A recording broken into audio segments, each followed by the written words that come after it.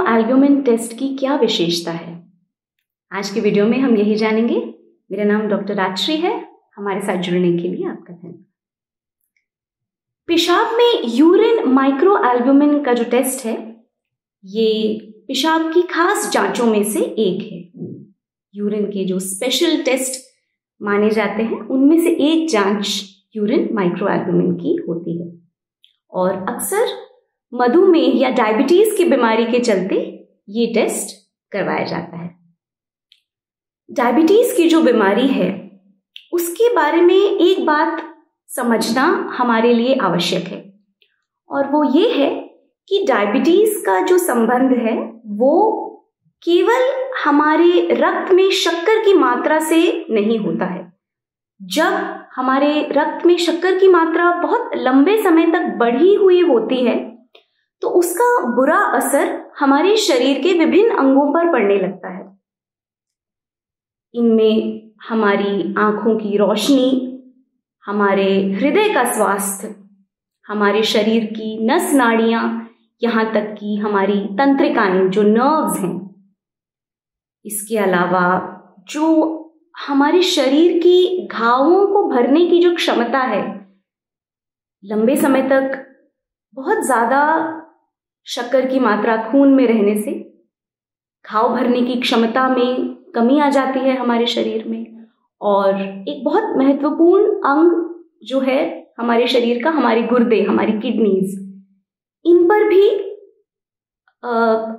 जो है, अधिक मात्रा में शक्कर खून में जब रहती है तो उसका असर हमारे गुर्दों के स्वास्थ्य पर पड़ने लगता है। और उसी के चलते पेशाब में माइक्रो एल्ब्यूमिन की मात्रा जो है वो बढ़ने लगती है। यूरिन माइक्रो एल्ब्यूमिन गुर्दों की जो बीमारी है, उसकी गंभीरता का सूचक है। एल्ब्यूमिन एक प्रोटीन है, एक रसायन है जो हमारे खून में पाया जाता है और आमतौर पे एल्ब्यूमिन की मात्रा पेशाब में बहुत ही कम होती है। चौबीस घंटे में करीब करीब तीस मिलीग्राम से भी कम एल्ब्यूमिन पेशाब में पाया जाता है। और गुर्दों की बीमारी के चलते धीरे धीरे इस एल्ब्यूमिन की मात्रा पेशाब में बढ़ने लगती है और करीब करीब 30 से 300 मिलीग्राम एल्ब्यूमिन 24 घंटे में पेशाब में पाने जाने की अवस्था को हम माइक्रो एल्ब्यूमिन्यूरिया कहते हैं।